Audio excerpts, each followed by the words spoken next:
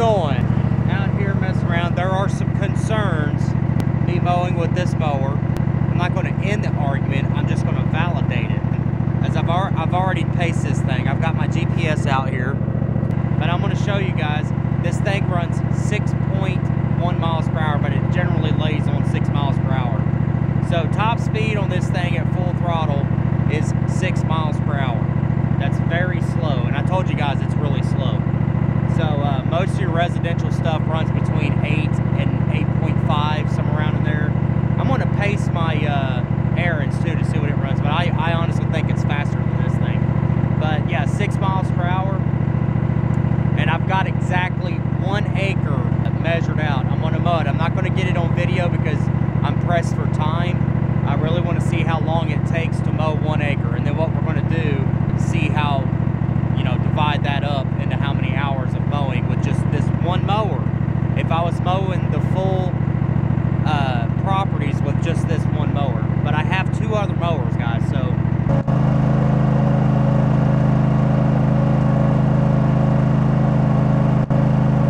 as you've seen there, it uh, it fluctuates between six miles per hour, 6.2, but generally between six and 6.1 miles per hour. So we'll just say six miles per hour. So now, this house right here, there's a huge uh, yard behind it. Uh, it's on the market, so there's nobody that lives here. But this house and my buddy's yard, he's got a great big corner lot right there. So between these two houses together is exactly one acre. So what I'm gonna do is mow both these together non-stop. I'm gonna, I've got my watch right here. I'm gonna time myself from start to finish of just the mowing and see how long it takes me to mow this yard. And I don't know, wish me luck. just got done mowing. Took me exactly, I don't know if you can see that, 36 minutes to mow a full acre. That's just straight mowing. That's running the mower harder than I want to. Even at six miles an hour, guys, that's, I mean, you're still being kind of rough on the mower at six miles an hour. I mean, I finished it out. Uh, you guys can see, I mean, it goes way back there. And then, like I said, the next door neighbor, he's over there behind this house behind me. And they're both the acre, both the lots together about half acre lots. So it took me 36 minutes. Let's get in here and figure out if I mowed everything by myself on this mower by myself, how long it would take. All right, guys, back in here in the house, finally in the warmth. It's actually pretty cold today.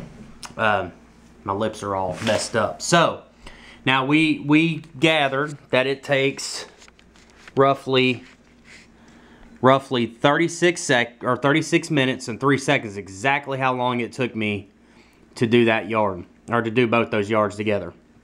And that's straight mowing, no trimming, no nothing, 36 minutes, okay? So, we're to go right here to my calculator. All right. So, you're to do 36 minutes times now the schools themselves is 80 acres, okay?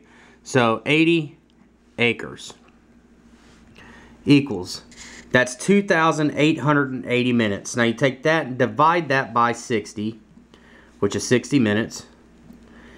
That's 48 hours, guys. So, in 48 hours, that's me mowing all the schools by myself on that one mower is 48 hours. I have another 50 inch and I have another 34 inch. Okay, so if I have those two mowers right there, I should be able to cut that close to in half, correct? I mean, wouldn't that be the philosophy to that? So, I feel good about that. I mean, I, I don't have any problems with that. You know, 48 hours with that one mower. So, I mean, roughly, if I got all three of my mowers going, I should be able to get everything I needed done. Let's just say on the high end of mowing now, just mowing, 30, 30, 35 hours. You know, something like that. That should be, that's that's realistic. I mean, 35 hours of just straight mowing. That's it.